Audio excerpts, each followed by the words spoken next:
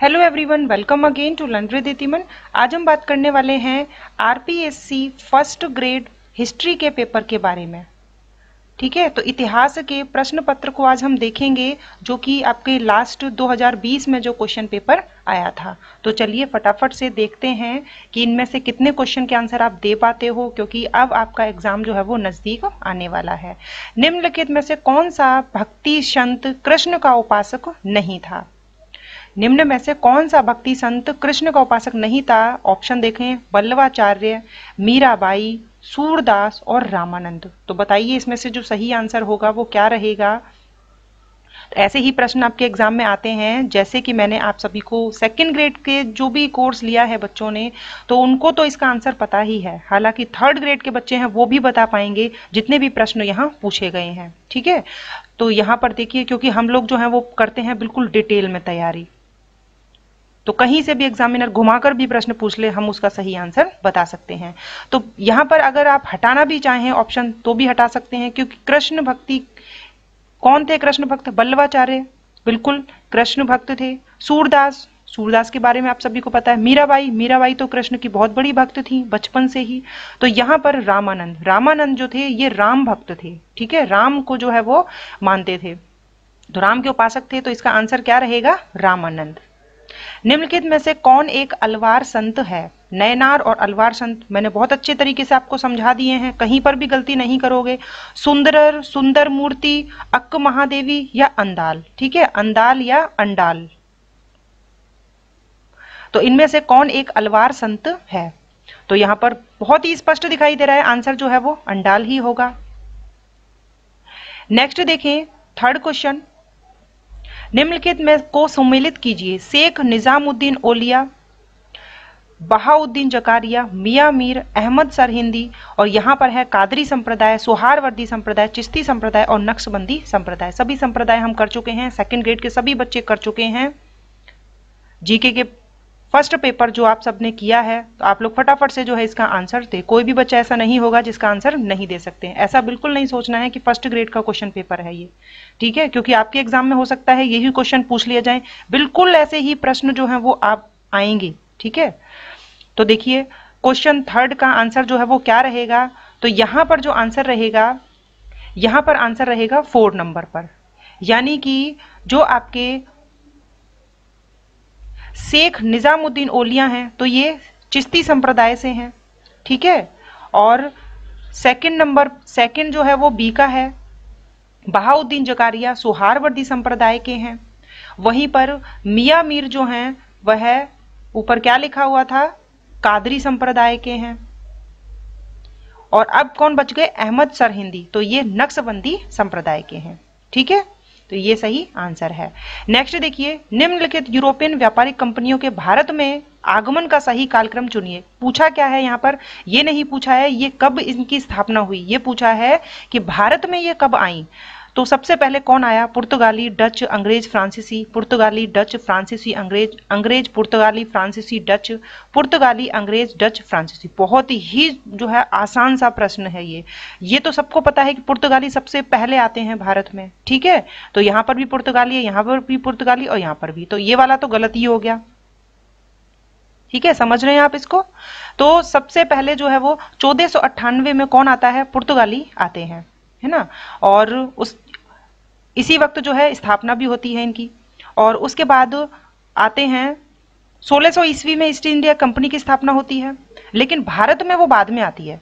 तो इनके बाद जो आते हैं 1602 ईस्वी में डच आते हैं। कौन आते हैं? डच आते हैं। पहले कौन आए? पुर्तगाली आए। ठीक है? तो ये सिक्वेंस आपको याद रखना है। और उसके बाद जो है, वो अंग्रेज़ आते हैं। अंग्रेज़ जो है, वो व्यापारिक कंपनी जो है, यहाँ कोठी स्थापित करते हैं सूरत में 1612 ईस्वी में। तो भारत में आगमन हुआ 1612 ईस्वी में। तो यहाँ पर बच्चे क्या कर देते हैं ऑप्शन वन और ऑप्शन जो ये फोर है, इसमें कंफ्यूज होकर गलत कर देते हैं। क्यों? क्योंकि यहाँ पर अंग्रेज़ जो है, वो 1600 ईस्वी में ईस्ट इंडिया कंपनी की स्थापना होती है तो ये समझ लेते हैं। इसलिए ये वाला आंसर कर देते हैं, जो गलत हो जाता है। ठीक है? यहाँ पर आंसर क्या होगा? पहले पुर्तगाली आए सोलह, चौदह में, फिर सोलह ईस्वी में डच ने जो है, व्यापारिक कंपनी स्थापित की। उसके बाद अंग्रेज़ों ने 1612 ईस्वी में सूरत में अपनी कोठी बनाई और उसके बाद आते हैं कौन? सोलह ईस्वी में फ्रांसीसी। ठीक है तो ये सीक्वेंस आपको ध्यान में यदि है तो आप सही कर सकते हो। यहाँ पर कंफ्यूज हो सकते थे।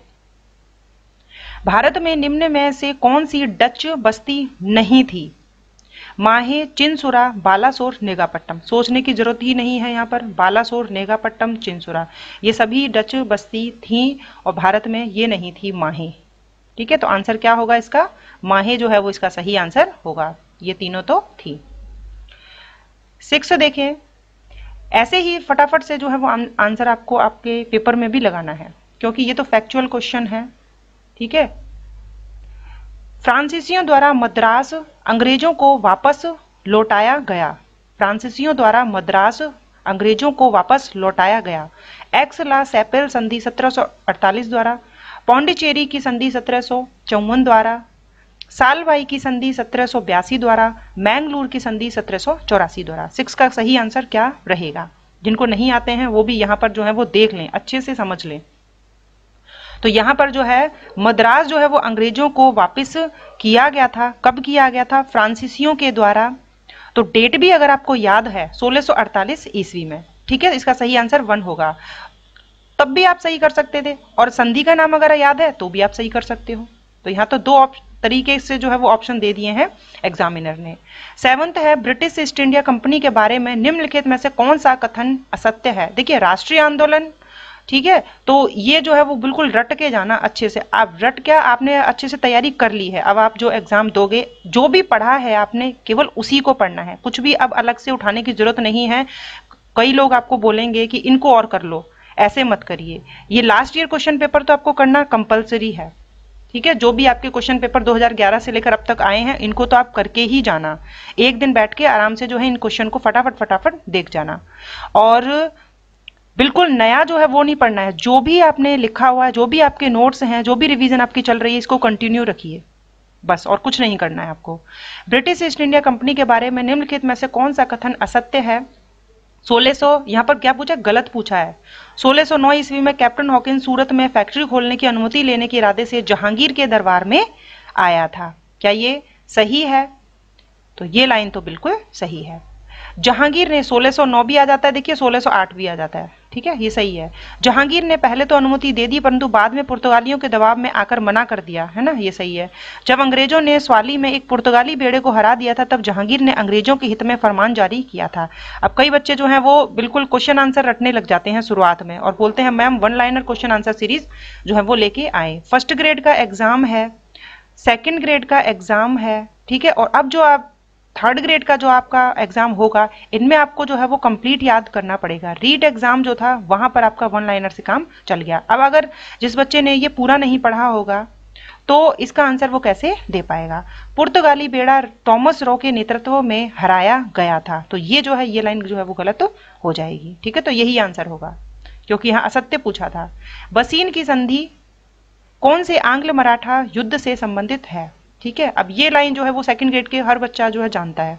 वसीन की संधि कौन से आंग्ल मराठा युद्ध से संबंधित है? प्रथम, द्वितीय, तृतीय या प्रथम आंग्ल मैसूर युद्ध? पूछा तो यहाँ पर आंग्ल मराठा युद्ध है तो ये तो वैसे ही क्रॉस हो गया। है ना? तो ऐसे एलिमिनेट भी करने की कोशिश करें। तो यहाँ पर जो आंसर होगा कि वसीन की संधि जो है वो 1802 ईस्वी में होती है। ठीक है? सन याद है? तो ये जो है द्वितीय आंग्ल मराठा युद्ध से संबंधित है। ठीक है? तो एग्जामिनर भी आपको कुछ ना कुछ जो है वो क्लू देता ही है, अगर आप ध्यान से देखेंगे। 1799 में टीपू की मृत्यु के बाद मैसूर की गद्दी पर वैलेजिली ने किसे बिठाया था? बसालत खान, प्रताप सिंह, कृष्णराज, नंदराज। बताइए फटाफट से इसका सही आंसर, किसको बिठाया था? 1799 में हो जाती है टीपू की मृत्यु। इसके बाद मैसूर की गद्दी पर जो है वो लॉर्ड वैलेजिली जो है वो किसको बिठाते हैं? तो इसका सही आंसर है कृष्णराज को बिठाया जाता है। ठीक है? बंगाल में द्वैध शासन किसने समाप्त किया था? सर जॉन शोर ने, वॉरेन हैंस्टिंग्स ने, लॉर्ड हैंस्टिंग्स ने या कार्न वालिस ने? सोचो इसका आंसर। तो फटाफट से जो है वो आपने आंसर सोच लिया होगा, क्योंकि इतना ज़्यादा तो टाइम नहीं लगना चाहिए। अगर यहाँ पर क्वेश्चन ये पूछा जाता कि बंगाल में द्वैध शासन जो है, इसके जनक कौन है? किसने प्रारंभ किया था? तब आंसर जो है वो आ जाता रॉबर्ट क्लाइव। क्या आ जाता? रॉबर्ट क्लाइव ठीक है? अब ये जो समाप्त कर दिया, किसने समाप्त किया है? तो ये जो है, समाप्त किया है, आंसर रहेगा वॉरेन हैंस्टिंग। ठीक है? ठीक है? ये तो यहाँ पर कंफ्यूज नहीं होना, ये लिखा है लॉर्ड हेस्टिंग्स। आंसर है वॉरेन हेस्टिंग्स। तो ऐसे ही छोटी सी गलती जो है वो गलत कर देती है आंसर। शिवाजी की मुगलों के साथ प्रथम मुठभेड़ सोलह सौ ईस्वी में हुई थी। ठीक है? और इसके बाद ही जो है वो छत्रपति की, जब इनसे मुकाबला जीत जाते हैं मुगलों से तो उसके बाद छत्रपति की जो है वो उपाधि धारण कर लेते हैं। तो शिवाजी की मुगलों के साथ प्रथम मुठभेड़ सोलह सौ ईस्वी में हुई। उस समय दक्षिणी मुगल साम्राज्य का गवर्नर कौन था? साइस्ता खां, औरंगज़ेब, मिर्ज़ा राजा जयसिंह और मुराद बख्श। बताइए फटाफट से आंसर। ठीक है तो दक्षिणी मुगल साम्राज्य का गवर्नर कौन था? तो अभी जो है मैंने आपको हाल ही में जो है मिर्ज़ा राजा जयसिंह के बारे में बहुत सारा पढ़ाया, ठीक है? तो हो सकता है बच्चे इसको कर दें। ये तो नहीं होगा। दक्षिणी मुगल साम्राज्य का गवर्नर कौन था? मुगल साम्राज्य का गवर्नर उस वक्त साइस्ता खां था, ठीक है? सही आंसर है इसका। अब ये देखिए पॉलिटी में पॉलिटी इतने अच्छे से समझाती हूँ। मुझे ऐसा लगता है कि पॉलिटी इतने अच्छे से समझाई जाती है मेरे द्वारा, आप लोग कभी भी नहीं भूलेंगे।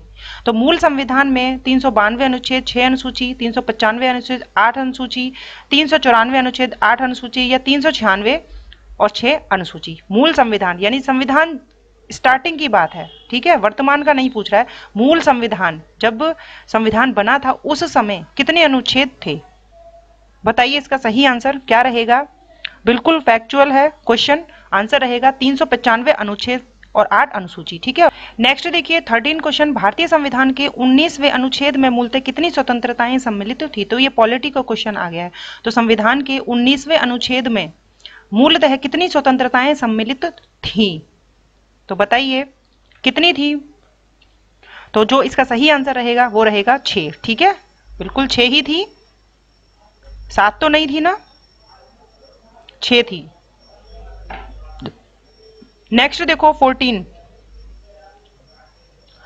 सॉलिडस क्या था? सॉलिडस क्या था? फटाफट से सोचिए, क्या आंसर रहेगा इसका? सॉलिडस जो है वो एक प्रकार का क्या था? सिक्का था, ठीक है? इसका क्या आंसर होगा? तो इसका आंसर तो मैंने ही आपको बता दिया है कि एक सिक्का था रोमन साम्राज्य द्वारा जारी, सोने का सिक्का था, ठीक है? याद रखिएगा, सोलिडस। निम्नलिखित में से कौन सा सुमेलित तो नहीं है? तो यहाँ पर जो है कौन सा सुमेलित तो नहीं है, ये आपको बताना है। कॉप्टिक जो है वो मिस्र, प्यूनिक जो है भाषा उत्तरी अफ्रीका की, कैल्टिक, स्पेन, अरामाइक, पश्चिमी यूरोप की। तो यहाँ पर जो है वो गलत पूछा है, गलत, ठीक है? यानी तीन तो आपको आनी चाहिए, तभी आप इसको कर पाओगे, ठीक है? तो इसका आंसर होगा कि अरे माइक जो है वो पश्चिमी यूरोप की, ये नहीं है। बाकी तीनों सही है। तो इन तीनों को याद कर लो, हो सकता है आप ये पूछ ले एग्जामिनर क्योंकि एग्जामिनर जब क्वेश्चन पेपर बनाता है ऑथेंटिक बुक के साथ जो है वो प्रीवियस क्वेश्चन पेपर भी लेकर बैठता है। और कभी आपने अगर गौर किया होगा तो अगर 10 सालों के क्वेश्चन पेपर में से कुछ ना कुछ आपके एग्ज़ाम में, आगामी एग्ज़ाम में आपको देखने को मिलेगा ही। इसीलिए बोलते हैं कि जो 10 सालों के जो क्वेश्चन पेपर हैं, उनको तो आप निकालें। ठीक है? देखें। यदि किसी बच्चे ने नहीं देखे हैं तो अभी भी टाइम है, एक दिन जो है वो आप निकालें और अपना जो है ये काम करें। ठीक है? नेक्स्ट देखिए, निम्नलिखित में से चीनी सभ्यता के विषय में कौन सा कथन सही है? तो कितना कंफ्यूज करता है यहाँ पर एग्जामिनर क्योंकि आपको पूरी जानकारी होनी चाहिए, तभी आप सही का भी आंसर दे सकते हो। और तीन में से पूछा जा, चार में से पूछा जाता है, इसमें से कौन सा नहीं है, तब भी आपको पूरा ही आना चाहिए। तो ऑप्शन देखिए सबसे पहले सी, सिया वंश चीन का प्राचीनतम ऐतिहासिक वंश है। ये तो सही है लाइन सांग वंश सिया वंश के बाद सत्ता में आया था, ये भी सही है, आपने पढ़ा है। शिहांग टी का अर्थ है प्रथम सम्राट। तो ये भी लाइन सही लग रही है। सामंती व्यवस्था को समाप्त करने वाले व्यक्ति ने स्वयं को सियांग टी घोषित किया। तो यहाँ तो सभी लाइनें बिल्कुल सही हैं। अब चलिए ऑप्शन देखते हैं फटाफट से। ऑप्शन देखिए, यहाँ सारी सही हैं तो फोर्थ सही होगा ए बी सी डी ठीक है? निम्नलिखित में से चीनी सृष्टि विषयक आख्यानों के अनुसार सृष्टिकर्ता कौन था? चीनी सृष्टि विषयक जो थे, आख्यानों के अनुसार सृष्टिकर्ता कौन था? बताइए फटाफट से इसका सही आंसर। तो यहाँ पर जो है वो बिल्कुल यहाँ दिखाई दे रहा है पानकू। ठीक है? सृष्टिकर्ता कौन था? पानकू। नेक्स्ट देखो 18 तो ये तो आपने सेकंड ग्रेड में नहीं पढ़े हैं। जीके के फ़र्स्ट पेपर में नहीं पढ़ा है आपने, ठीक है?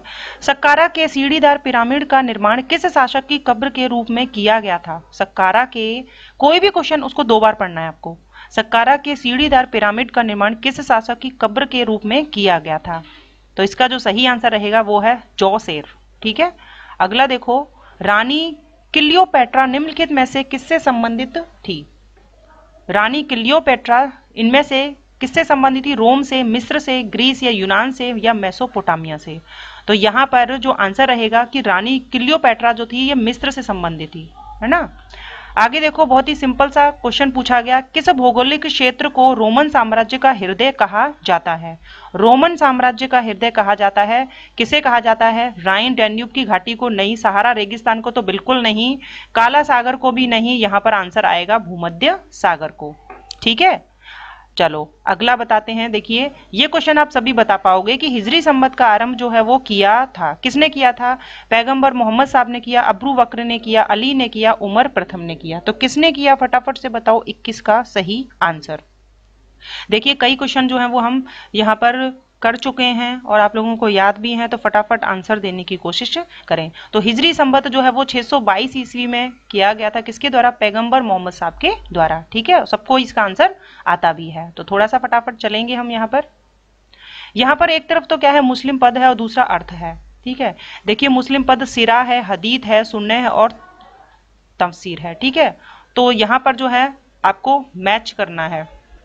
तो सोचिए, पहले तो आप सोचिए कि क्या होगा? सिरा का क्या अर्थ होता है? ये जो भी पद हैं, ये मुस्लिम पद हैं। ठीक है? फटाफट से जो है इसको सोचें आप क्या रहेगा? सही आंसर।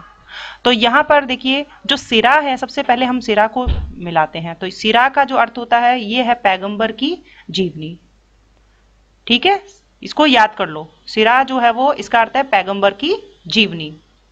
उसके बाद है हदीत तो हदीत जो है वो पैगंबर के कथनों और कृत्यों के अभिलेख है।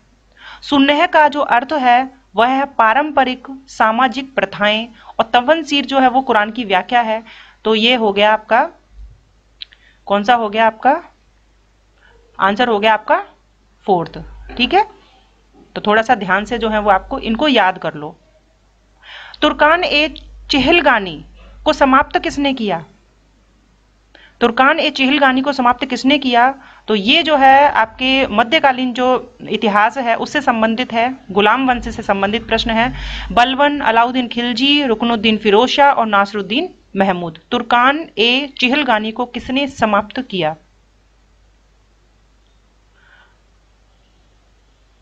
तो यहाँ पर सही आंसर जो रहने वाला है 23 का, वह है बलवन। ठीक है?